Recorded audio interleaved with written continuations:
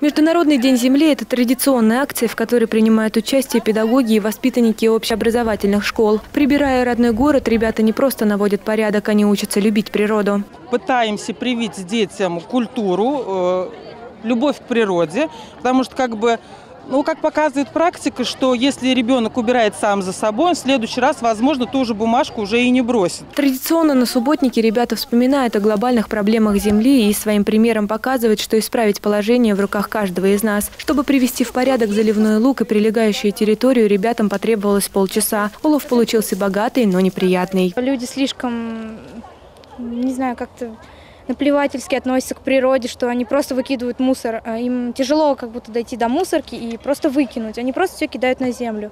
Бутылки, картонки, но они так быстро не перерабатываются. Все это все равно уходит в почву.